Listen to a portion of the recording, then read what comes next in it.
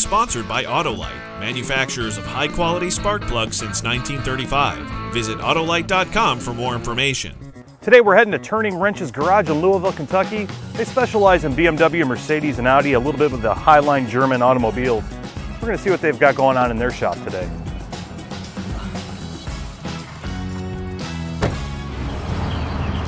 even says European on the side. I like it. You would. Thank you, thank you. All right. Good morning. Morning, Morning, how are you? Great. Morning. to Turning Wrenches. I'm Michael Brown. Joe Keen from Hey, Joe. Pros on the Road. Nice Josh to meet you. Shrooky, nice to meet you. Pleasure. Beautiful entry here. I was going to say, much. this is very nice. I like it. Thank you. I like it. If I may, let me take you guys on back to the shop and introduce you to our owner. That'd Awesome. Thank you. Come on back. Right this way. Thank you. This Levi Johnson, our owner. Levi. Hey, nice to meet you. Joe, nice, nice to, Joe. nice to Nice to finally meet meet you. you. Josh, nice to meet you. How are you? Good, how are you? Good. How's uh, everything going today? Wonderful. I like the shop. This is, I'm a European car guy myself, so seeing the cars here and how you got the shop set up, slick.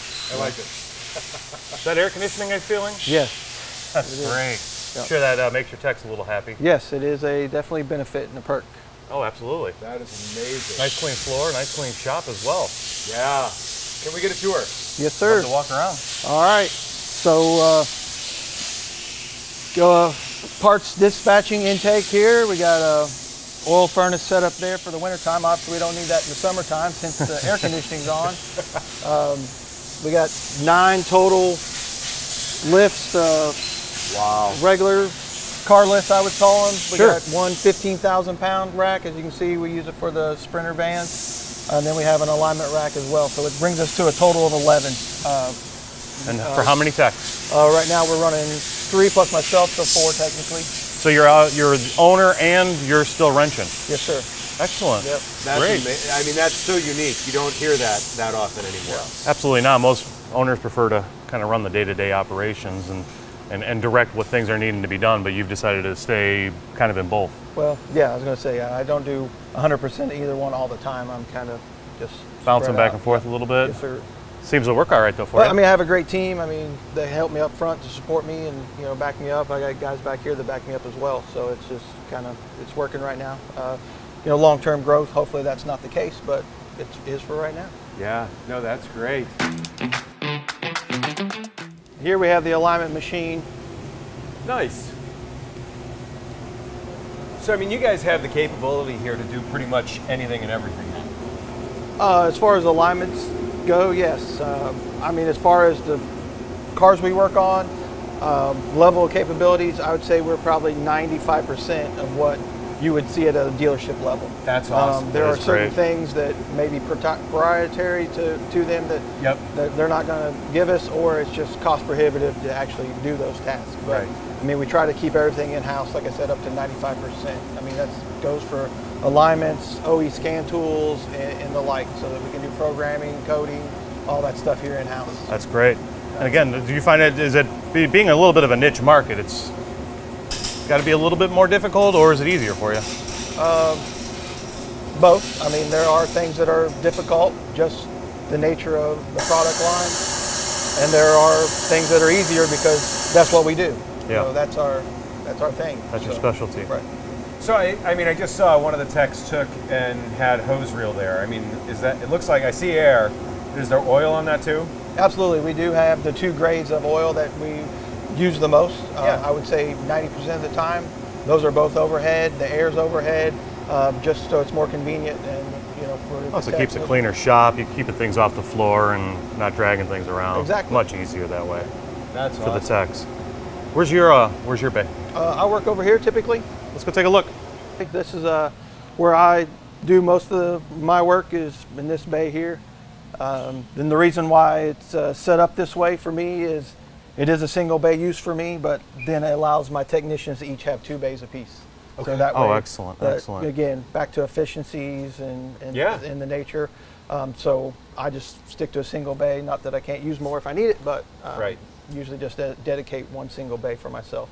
That's awesome. Great. That is great. What are you uh, working on on this one? This is a BMW in for a crank no start. Um, it was actually brought to us. It was at the dealer, and they towed it over here instead. So we're uh, double checking it out and see what's going on uh, with it. So You know, it's No a- kidding. You know, it's it's rare to see the Beamers with a s- you know a no start with all the pro- backup systems that they have on these cars to prevent these owners from not walking anywhere Right, or getting the yeah. tow. So Yeah. that's obviously a going to be a fun one. yeah, it's been uh, a little bit challenging uh, so far. I mean, it was mentioned as a partial diagnosis from the dealer that may need an engine wiring harness. We've alleviated that, and we're beyond that. It, it's not the engine harness is the failure. Um, it's got a couple other things going on that we're still working the bugs out on. Sure. Wow.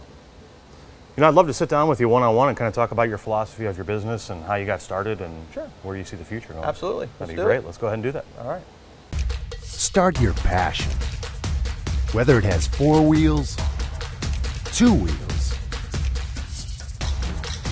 no wheels. Whatever your passion, ignite it with Autolite.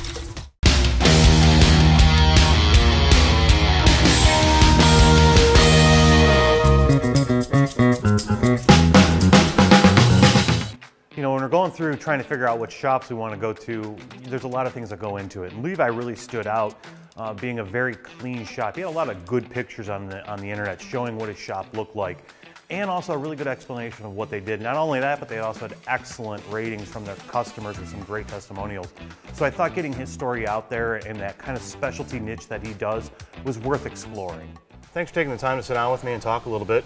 You know, most of the times we're in a lot of office settings because the owners typically like to be in the office more. But since you're obviously owner and a technician, I thought doing it out here would be great. So really, thanks for taking the time to meet with us today and, and talk a little bit about your business. No problem.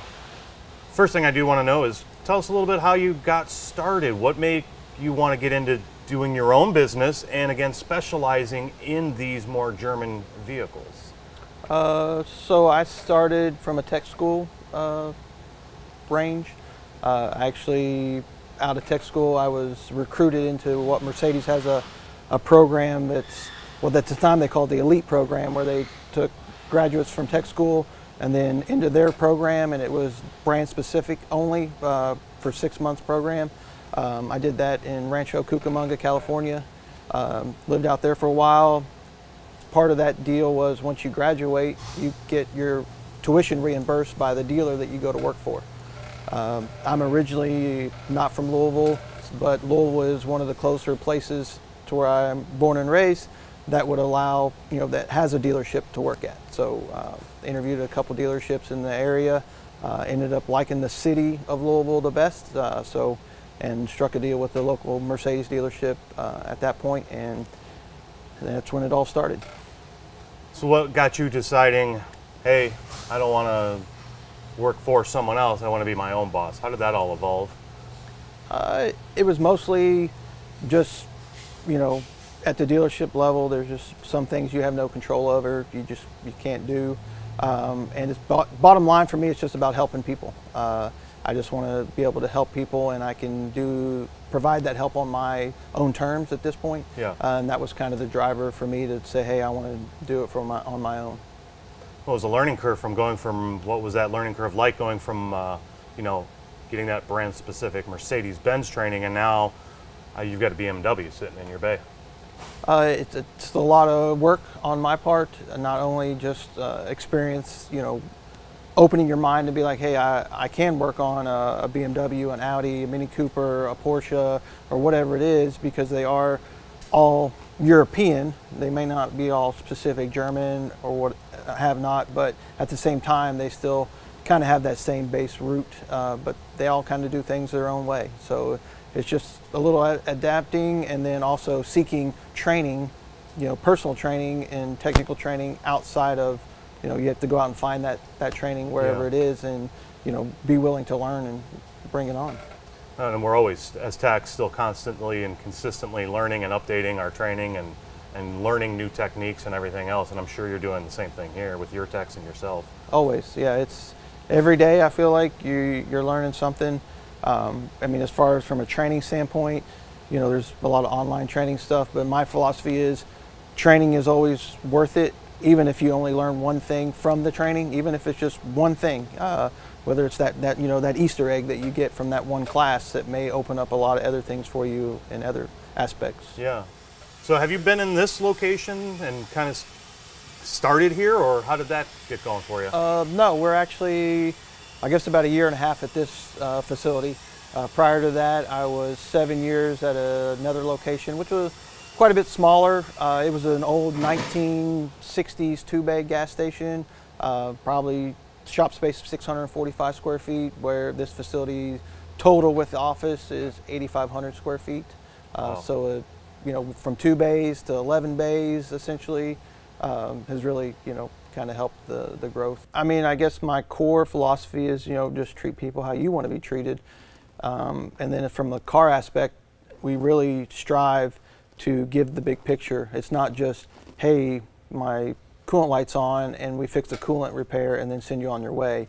I mean, we do a complete digital vehicle inspection and give you a 360 degree view of your vehicle so you can make educated choices on, yeah, I just need the coolant repair, it's X dollars, but I also need this or this is on the horizon and that's going to be X more dollars. Do I want to invest the total dollar amount or can we do it in bite sized pieces? Like, yeah, we can do this coolant repair today because it's stopping you from getting down the road, but you're going to Yeah. need these bushings at some point, maybe before even the next oil change. So it's on the horizon so that way you know it's coming um, and not three weeks from now you you are like oh there's a noise in my front end oh well now you need these bushings well if i'd known I'd need those bushings i wouldn't have fixed the coolant part and i would just got rid of the car or or done something else Um, Yeah. so that's i mean i don't know kind of from the business side i feel like that's what we try to provide yeah, you're, you're right up front and you're honest about it um, and, and letting the customer uh, make that decision that you're helping them by being informing them and showing them what's going on so they don't feel like they're being taken advantage of. Well, and I, and I think too for me, it's it's about letting you know what the car needs and educating you on why the car needs what it needs.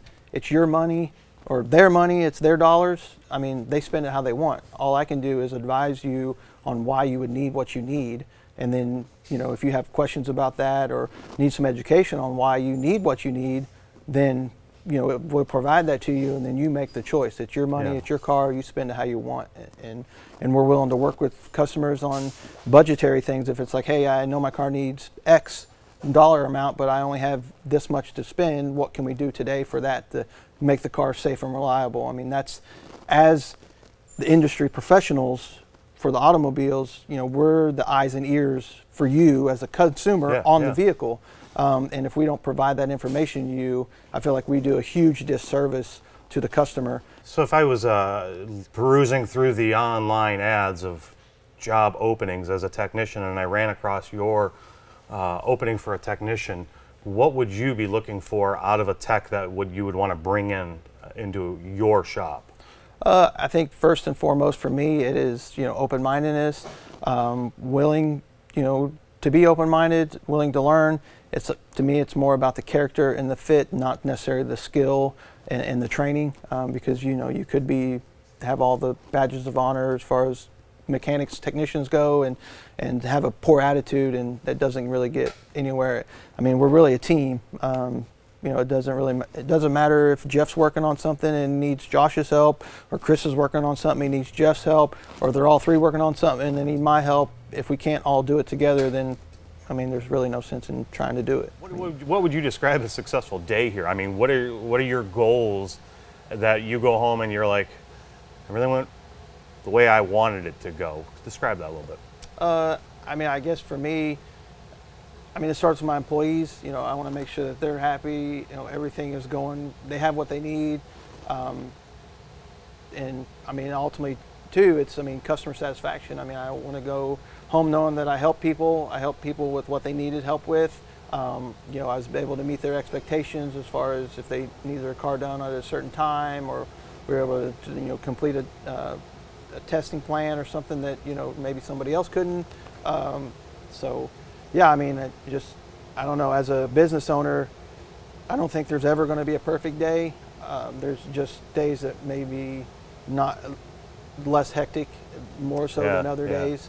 Um, but it's just you know, it's uh, I think it's just making everything work. I mean, whether it's in the bay or at the front counter or you know that first first phone call that someone you know, I mean, I would say 90% of the time someone's not calling the auto repair shop just because they're like, hey, what's happened? You guys doing all right over there? I mean, they, they, they actually need you for something. Yes, You know, to be there when they need you, to me, is kind of an honor to know that they would call you and be like, hey, you guys, uh, I have this issue pop up. How can you help me? You know, and I Yeah. want to be there to help them. Yeah. I always used to tell my students when I was an automotive instructor that no customer wants to call an auto shop like you just said because usually the wallet's going to be opened and something may be on a tow truck at that point.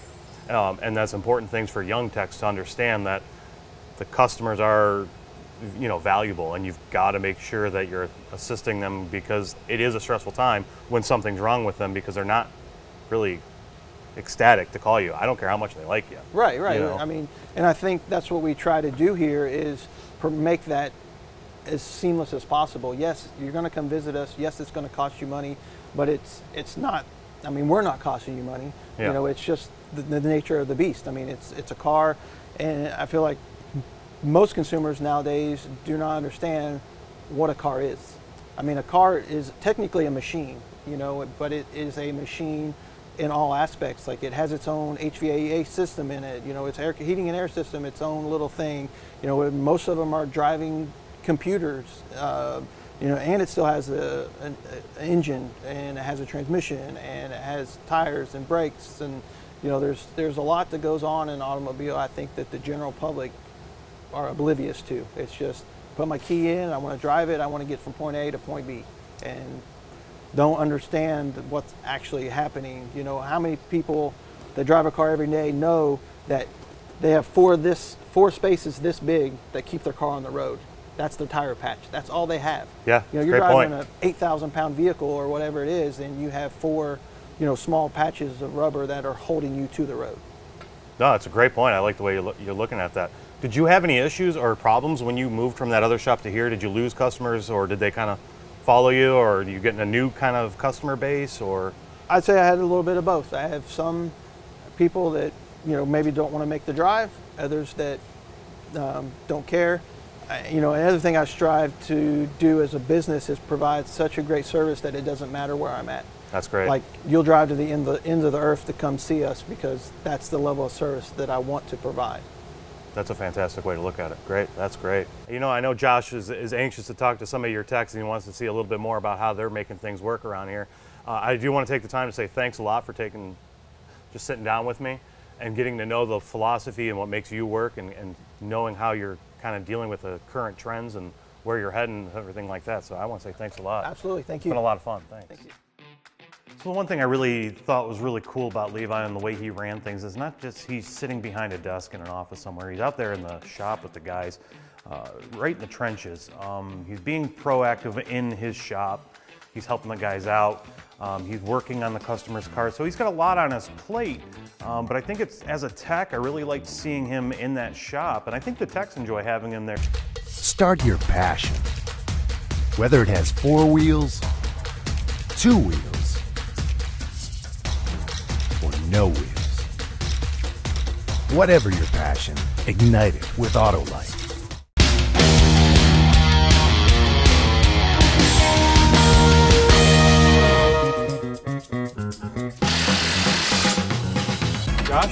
I'm How you doing? Josh. Josh? Nice to meet you. I'm Josh, too. That's, that's going to be easy to, to remember. So, Right. how long have you been here? Uh, since we moved in this facility is when I started. uh, Okay. so it'll be a year. Uh, December of 19, I believe, is the Okay, correct date. great. When we started in this facility. So, have you always worked on European cars, or did you start someplace else? Or? Uh, yes, I've worked on cars since I was uh, so 19 years. okay, okay. So you've always been a Mercedes guy. Yes. Wow. So how has it been to adapt to BMW, Audi, some of the others? Um, it's a little different. You know, everybody likes what they like. You know, you used Yeah. to working on one product. You know, but in the vast majority of things, they're all the same concept. Germans kind of German cars all kind of Yep. keep the same thing. Yep. It's a little different. You know, you got to soak up a lot of knowledge from different manufacturers and et cetera, and wiring diagrams and et cetera are different. So Yeah. it's uh, definitely difficult to adapt, but it is adapting. So was there someone that influenced you through the years on cars or anything like that? I wouldn't say there's anyone in particular. My brother does work on cars. He's a couple years older than I am. Okay. And he works on German cars as well. He works on Mercedes. So So it's it's just yeah, we talk a lot about cars. It's bloodline. Yes. So I've got I've got a big question for you on this because you are not a short guy. Um, when it comes to working on minis, the, the the first question is, do you like working on minis? They're okay. Okay. The other one that I got to say, when you've got to take a mini for a test drive, does it take you a while to put the car on? No, not too long. Okay, good, good. But it does get a little difficult at times. But actually, believe it or not, Mini Coopers, for, you know, if it's just me getting in there, they're Right. actually way roomier than most people think. Now I can get in the back seat. No, no, So- that would take a running start and some Right, or something. exactly. Like, is there an area that you feel like you specialize in? Because there's guys that I mean, hmm. there's there's engine guys, there's suspension guys, there's diagnostic guys. No, everywhere I've ever worked, we've all been. There's no been. There's never been. This is yours. This is yours. This is yours. So that way you end up with better, well-rounded technicians, in my opinion. Everybody does everything. You know, everybody has a little strong suit on certain things, Yeah. but uh, no one part in particular. What drives you on a daily basis to to come in and learn more? Well, that's the beauty of cars is like there's always it's never a dull moment is a good word. You know, something's always different. You know, cars are always changing. Yeah. And it's just nice to know that it's not going to be the exact same thing. Like a factory work would be a good example. For sure. You know, you work in a factory. Most of the time, you're kind of doing the same thing: flipping parts, putting parts, screwing parts on. You know, we're at least working on cars. It's never the same. Might be the same kind of thing, but it's Yep. never exactly the same. And there's days where later on, but not back to back to back That consecutive days. So that's kind of nice. You know, so every day's a mystery. Oh, that's. I love what you've done with your hair too. Yeah, I know it's great. I've had it for about, you know, gone for about 18 years. When I turned 22, I went bald. It was super amazing. Well, no, it just it came out the bottom. No, it was there before that. So no, it just Okay. disappeared. Okay. So, if a technician's looking to get into the industry, what would be your advice for someone just starting out? Um, a young person, I would think my advice would be to stick with it and it'll come. But you know, get any education you can, regardless of if it's some kind of training from high school, vocational school, college, you know, but know where you want to go. You know, if you there's diesel mechanics that work on heavy equipment or tractors or loaders Right. or et cetera or work in coal mines, you know, so that all depends on your location Yeah. on the maps, in my opinion. Uh, but if that's what you want to do and your passion, you can do it and be successful as long as you try. What makes this shop unique? Well, the uniqueness of this shop is the homeliness, I guess is a word. You know, er- like you're not a number, you're a person. Okay. You know, you see the owner on a daily basis. You talk to everybody that works here multiple times throughout the day. You know, it's like a family. That's great. So it's not number 32 technician. Right. you know, come and do your job, leave. You know, everybody cares about everybody past just work, That's great. you know, on a personal level. So that makes it feel more intimate, maybe is a good word. That's.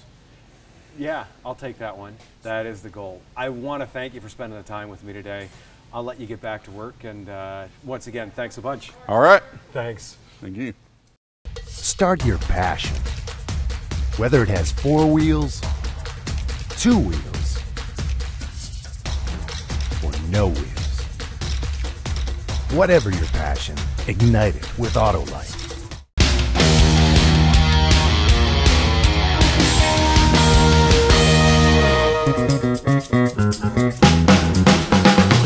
So hey, I really want to thank you for spending the time with us today. I mean, you've got a very cool shop. I mean, the stuff that you work on, I, I get why you guys specialize on it, and obviously you've uh, really done well with that niche. So thank you very much for uh, spending the time with Thanks us. Thanks for today. coming. It was great, really great to talk to you. Appreciate I'm really it. impressed with the shop. I think you've done a great job with it, and obviously just moving in past year. Uh, I wish you nothing but the best for continued success and growth, and uh, it was really a wonderful opportunity to come in and talk to you about it. So, Appreciate it. Well, thanks for having me. oh, thanks, Thanks. a lot. Take right. care. You too. That uh, Great shop. Yeah. Nice and clean. Oh my word, yes. I mean, what a dream to work in a clean, air-conditioned, shop. shop. oh my word. Oh, That, uh, I mean, and I know it gets hot down here, but that to me just makes all the difference in the world if you can be that much more comfortable.